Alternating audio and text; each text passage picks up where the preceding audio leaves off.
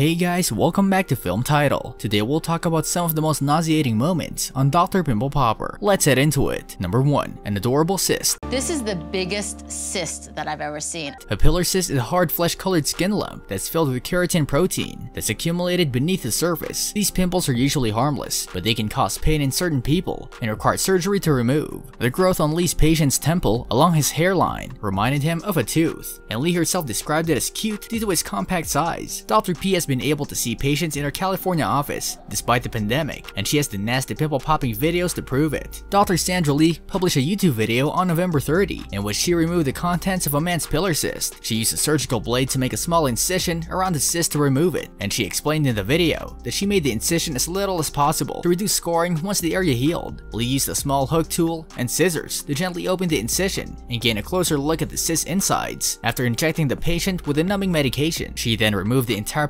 pebble-sized growth out of the man's skin with scissors. The patient was bleeding, where Lee made the incision after the cyst was removed, so she used a small cauterizing pen to stop blood flow from the tiny blood arteries inside. Dr. Pimple Popper then closed the wound with medical stitches and allowed it to recover. Number 2. A cyst that resembles a salad. Put a little bit pinch in one area here. You hurting? No, ma'am.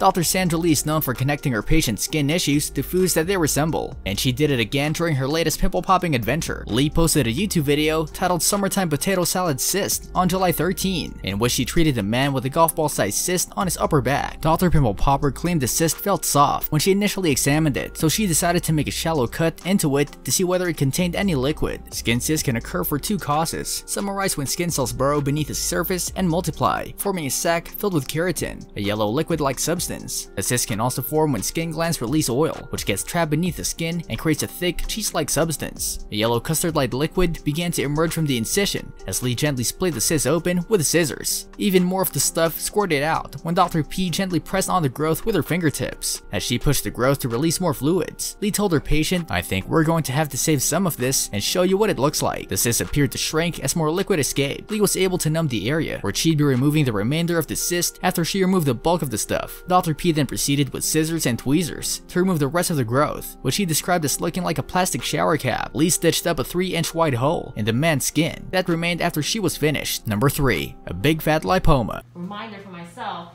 checking but A lipoma is a slow-growing fatty lump that's most often situated between your skin and the underlying muscle layer. A lipoma, which feels doughy and usually isn't tender, moves readily with slight finger pressure. Lipomas are usually detected in the middle age. Some people have more than one lipoma. A lipoma isn't cancer and usually is harmless. Treatment generally isn't necessary, but if the lipoma bothers you, is painful or is growing, you may want to have it removed. Dr. P demonstrated how to remove a big fat-filled growth off a patient's back on Monday. Lee stated in the video that she'll be removing a woman's lipoma, which is a sort of tumor found between the muscle and skin layers. Lipomas usually grow slowly and are modest, with a diameter of around 2 inches. The woman's lipoma on the other hand was quite huge, and Lee referred to it as her giant lipoma friend. Dr. Pimple Popper numbed the patient's back area where the lipoma was located in order to remove it. She then made a 5-inch incision, which revealed the fat within the growth right away. She continued to cut at the fat to separate it from the woman's body. Lee described the growth as slick after attempting to pull the fat out with her fingertips. With just her hands, she was able to remove the half of the fatty mass, which resembles raw chicken.